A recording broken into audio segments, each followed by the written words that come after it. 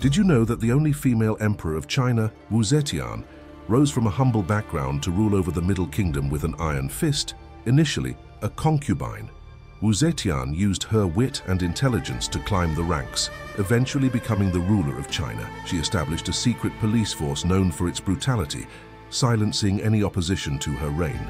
Her obsession with power led her to invent the Xiaoling dance, a ceremonial performance where dancers imitated her movements, depicting her as a divine ruler. She even claimed to have found a sacred Buddha relic, solidifying her position as a chosen ruler. Her legacy remains controversial, as some view her as a powerful leader who brought stability, while others see her as a ruthless autocrat who manipulated her way to the top.